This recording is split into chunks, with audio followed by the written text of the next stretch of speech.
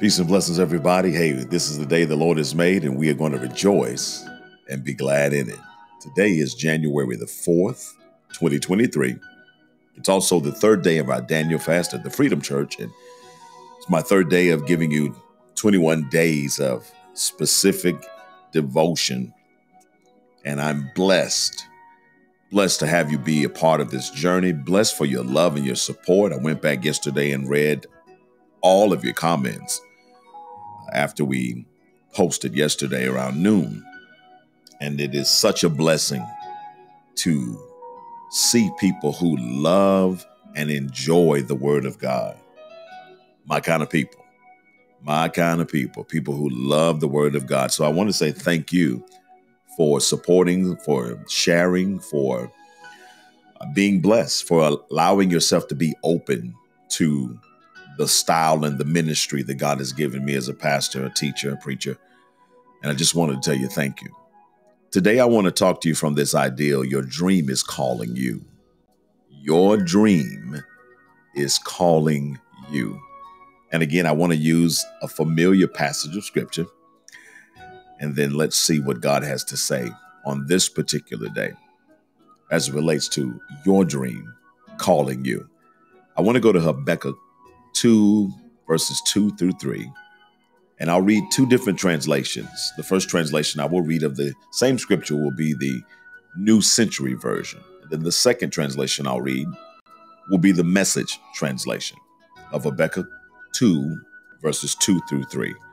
This is what it says the New Century Version. The Lord answered me and said, Write down the vision, write it clearly on clay tablets so whoever reads it can run to tell others.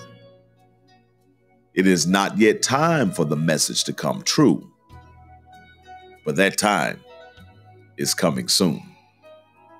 The message will come true.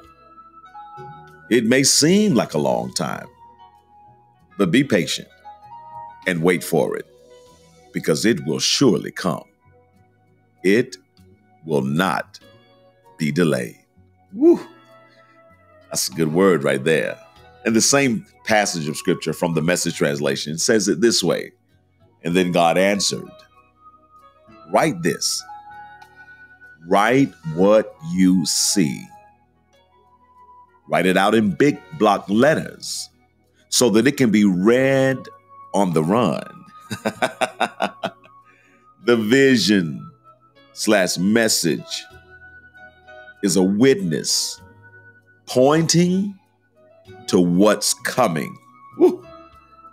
It aches for the coming. It can hardly wait. And it doesn't lie. If it seems slow in coming, wait. It's on the way. It will come right on time. Woo, you talk about a powerful passage. Today, the idea, the thought, the topic is your dream is calling you. And I need to inform you of something that you may have forgotten. And it is this that you are a dreamer. You say, Pastor Troy, what is a dreamer? I'm glad you asked. a, a dreamer is an idealist. A dreamer is someone who believes in what hasn't yet been tried, hasn't yet been invented, hasn't been discovered, hasn't yet been explained or explored. This is the mindset of a believer, of a dreamer. And I need you to understand something that yes, you are a dreamer. And because you are a dreamer, you've been born with something that every dreamer is born with. Do you know what that is? Every dreamer, every human being is born with an imagination. Yeah, you've got it. It's a gift from God that's given to you for the purpose of the manifestation of the dreams that God has placed inside of you. And if you have an imagination, I need you to understand something. You are a dreamer. Now, I want to say that again. If you have an imagination, you are a dreamer.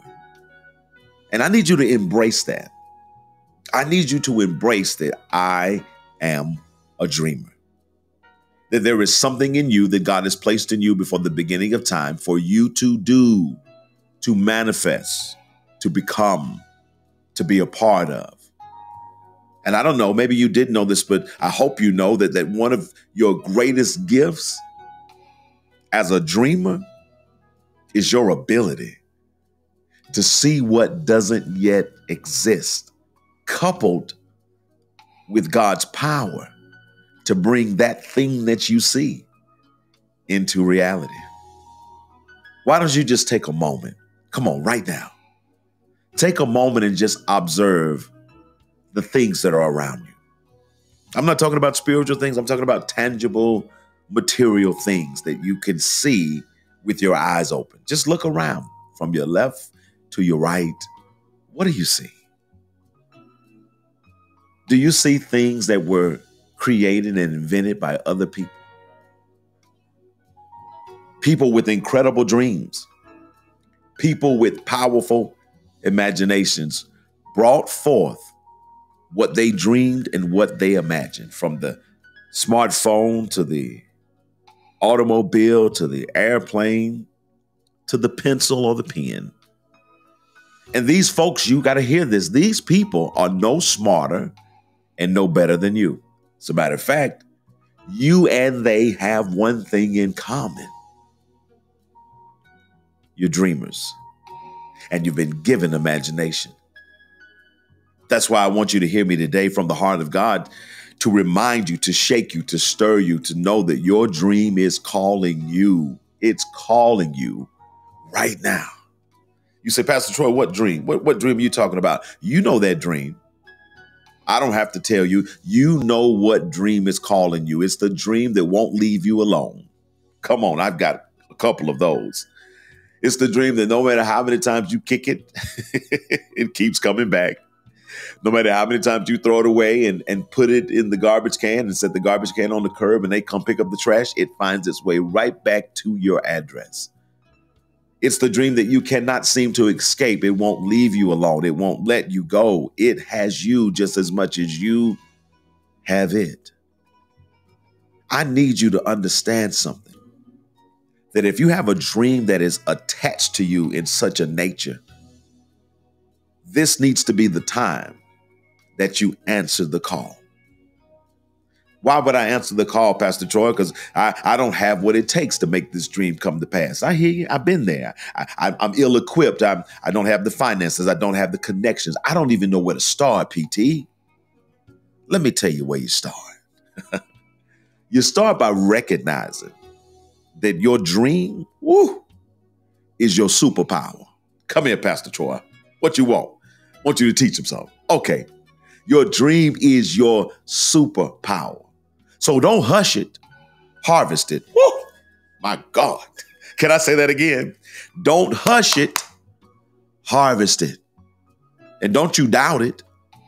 Do it. You say, well, I don't know where to start, Pastor. It's bigger than me. That's why it's called a dream. yeah, if it wasn't bigger than you, I don't know what you'd call it, but I wouldn't call it a dream. It's bigger than you because it is a dream.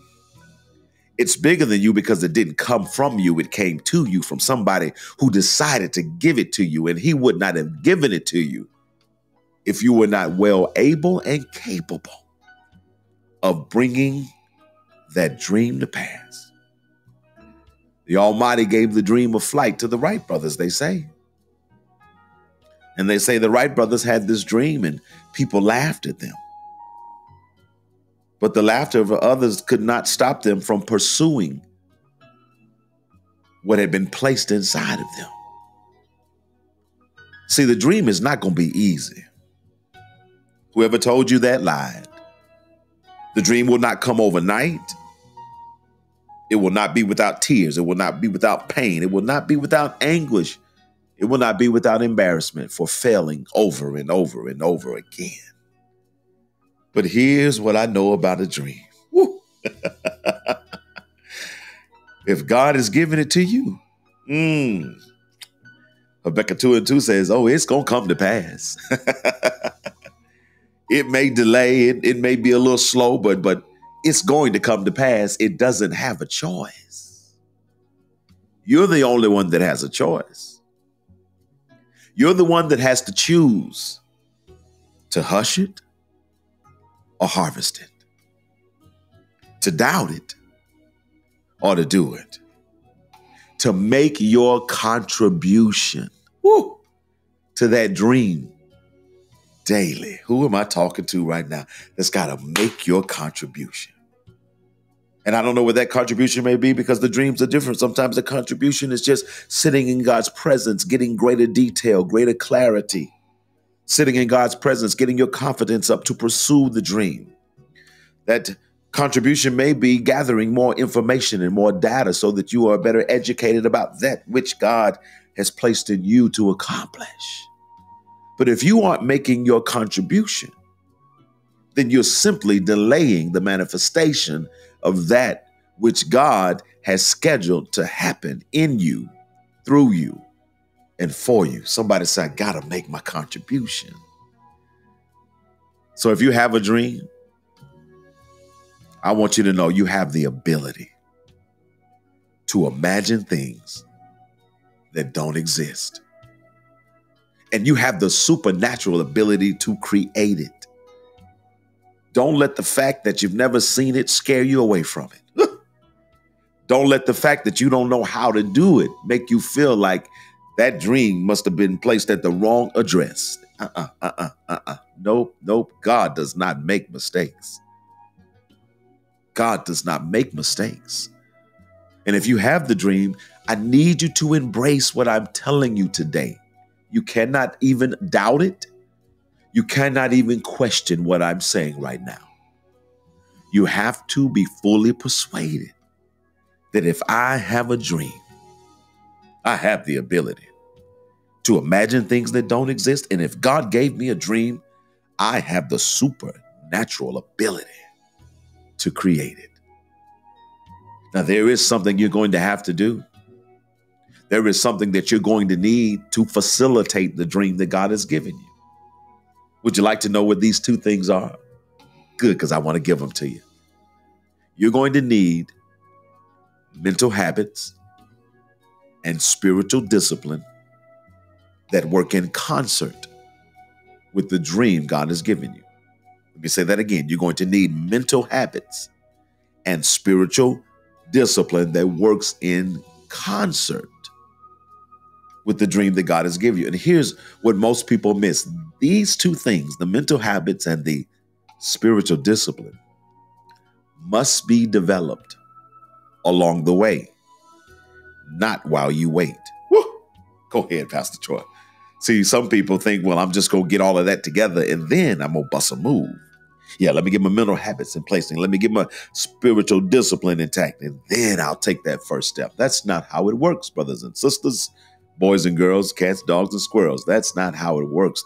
It works as you go. Ooh, come on, somebody. As you go, God shows you the way. Ah, you don't believe it? That's Abraham and Lot. God said, As you go, Abraham, I'll show you the way. I'll show you the way as you go, which means if you're not going, you're not getting the directions or the instructions that you need from God. He's got them. He doesn't have to make them, he doesn't have to create them. He has them in his hand. But he will not release any of that information to somebody who is stuck in stagnation. Pastor Troy Wynn Sr., you better say that again. I said he will not release any of that information to someone who's stuck in stagnation, which is why you have to go. You have to make your contribution daily because it says to God, I may not know it all, I may not understand it all, but I do know that I've got a dream and I got the supernatural ability to create whatever you put in me. So as I go, I'm developing the mental habits. As I go, I'm developing the spiritual discipline along the way and not while I wait. Just know this Please hear me. Your journey will be just as unique as you and your dream are. And I'm going to say that again because this is so critically important that you capture and you clearly understand your journey, the way in which you have to go. You may travel that journey alongside others, but understand as you travel that journey alongside others, your journey will be just as unique as you and your dream are. The reason why this is important is because oftentimes, and I was guilty of this early on in my life as I followed the dreams that God had gave, given me and the vision God gave me. I would look around to see who else was doing what I was doing. I was look I would look around to see who was doing what I was doing the way that I was doing it. And and when I couldn't find nobody doing what I was doing the way I was doing it, I began to talk myself out of it. I begin to doubt myself. I begin to doubt whether or not it was really from God because in my mind, I'm thinking, hey, it's got to be somebody else out here with this crazy dream. I can't be the only one with this crazy vision. But what you don't understand, it's not crazy. It's not crazy just because you don't see it anywhere else. Ugh, teach, Pastor. You're not crazy just because God has carved you and cut you from a different cloth. Who am I talking to right now? you ain't crazy? Nah. Nah, you just custom. yeah, I'm gonna say it again. You ain't crazy. You just custom. In other words, you different. You different by God's design. And what you got to do is you got to embrace it and hug it like a teddy bear and say, you know what? I'm good. I'm all right. Yeah, my journey is a little different than everybody else. My my dreams are different from from my friends and my my my, my cohorts. Uh, my vision is very different from my my compadres, but I'm all right. Because if God gave it to me, He gave it to me for a reason. God told me today to tell you your dream is calling you. The question is, are you going to answer? The question is, are you going to make your contribution this year? I pray that your answer is yes. Yes, I will write the vision. Yes, I will make it plain. Because I know that it aches for its coming. I know that my dream can't hardly wait. And I know that my dream that calls me, it doesn't lie. And even if it seems slow in its coming, I'm going to wait. I'm going to wait patiently because I know it's on the way. And I'll wait patiently because I know it will come right on time. If you receive that right now, I'm going to ask you to give God a praise. Put your hands together and let Him know you appreciate this word right now. Come on. Tell Him thank you. Tell Him you heard Him. Say, Lord, I receive. Yeah. Uh, Lord, I receive. I hear you. I hear your dream. I hear your dream. I hear you calling me. And I'm not going to ignore you. I'm not going to kick you. I'm not going to put you in the garbage bag and put you outside the curb. I'm going to embrace you. I'm going to seek God's face like I've never saw this face before and I'm going to begin to move so that as I go, God will give me what I need to know. Whew. That's good. Let me pray for you, pray with you really quickly. That I want you to go and dominate this entire day. Father, we say thank you for your word and for your wisdom. We thank you for the dream that you've placed in every single one of us and the imagination that you've given us to keep that dream alive. We hear you today in a way that we have not heard you before. And we acknowledge and accept this wisdom and this truth. We bind every demon, every devil, every distraction that tries to degrade us simply because we don't have everything we need to make the dream come to pass right now. We bind every demon, every devil, and distraction that tries to persuade us into actually believing that we cannot do what you have given us to do. The devil is alive.